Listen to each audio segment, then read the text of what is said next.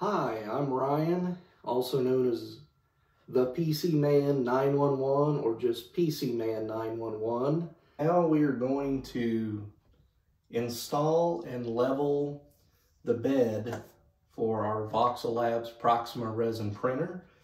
All you need is a blank piece of like printer paper and the Allen wrench that came with the printer. Hopefully your printer comes with one. So the first thing we're going to do is take the lid off. We're going to undo the screws completely so that your paper can go on there. So you want to undo your resin vat screws. Remove your resin vat. I'm going to go ahead and set a piece of paper up on here so that it protects the LCD screen I'm taking, you need to loosen the two screws here that allow this to move freely, but you don't want to loosen them so much that they fall out or this falls off. And now I'm setting that on here and I'm going to tighten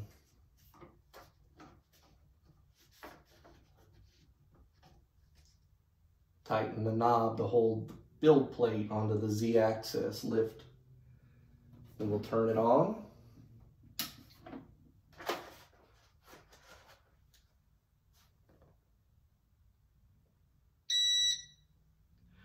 Now I'm going to go into Tools and Manual. And we're going to hit the Home button.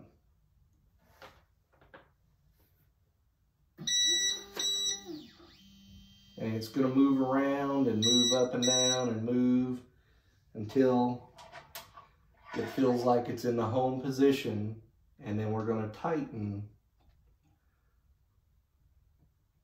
our Allen wrench screws back down so that we're on the home position. Now you can move this up a tiny bit more, but you don't want it too far or it's going to, your uh, prints will not bond to the build plate. So we're tightening this down. And then we can go in here and go back and we can tell it now, we want to tell it to set zero. And then we're going to confirm the set zero. And I'm going to go ahead and go back now and I'm going to raise raise it up. That way I can take my piece of paper out.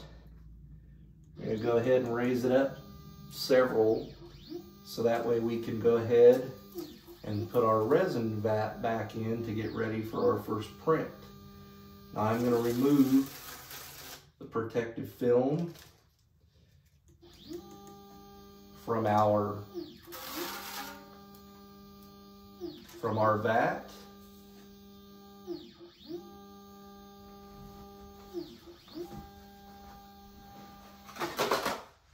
I'm going to take our microfiber cloth that I spoke of earlier and wipe the screen down. And then I'm going to put the vat back in. I'm going to continue to raise this up so we have plenty of room to pour in our resin as we get ready to print.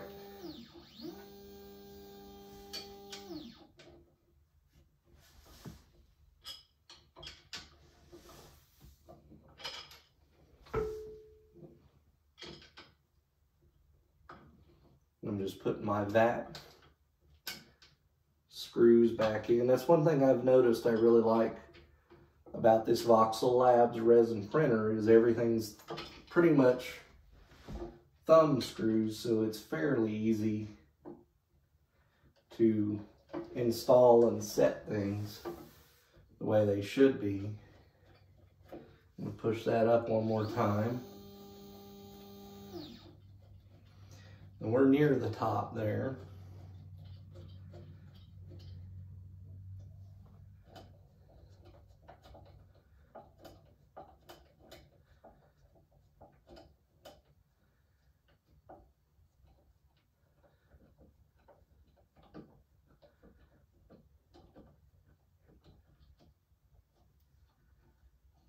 Now that that's all installed, I'm going to go ahead and test the home button one more time. Make sure this runs up and down good.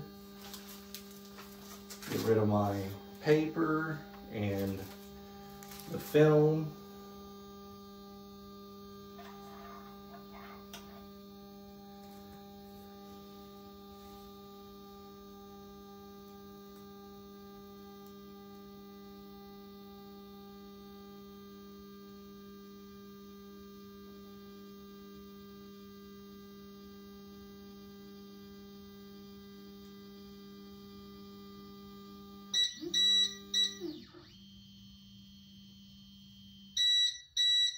And there we have it.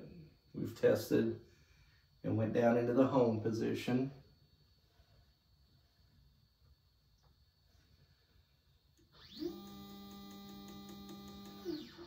We're to have this raised back up so that we can put some resin in. We're going to prepare to do our first print. As you can see, I've got gloves on, I've got a mask on, and my eye protection, which keeps fogging up.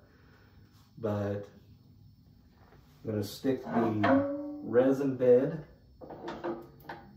back into its slot, tighten it down.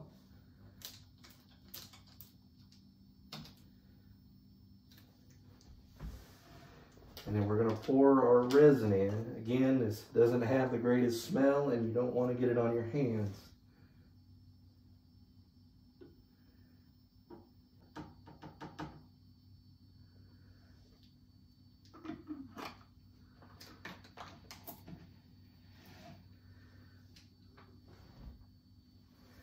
Okay, now we're going to go to print.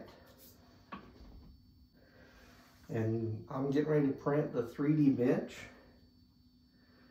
I'm going to select it and tell it to go. I'm going to install the cover.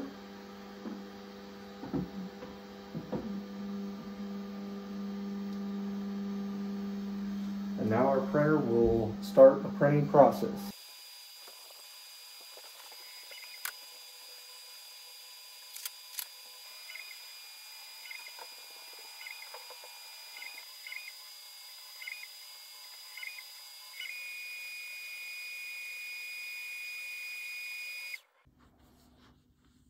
Okay, here's our final print. We did a benchy. It took about three hours to do. We washed it in the alcohol bath for a little while and then let it cure in the UV lamp and turntable station for about 10 minutes. You can see where I scuffed it up some trying to get it off the build plate using the metal scraper.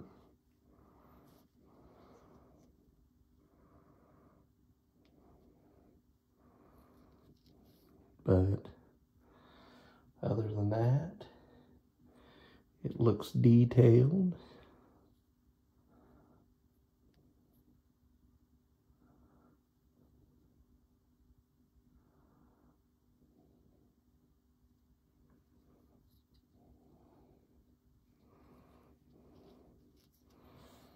And again, this is the on the Voxel Labs Proxima 2K resin 3D printer.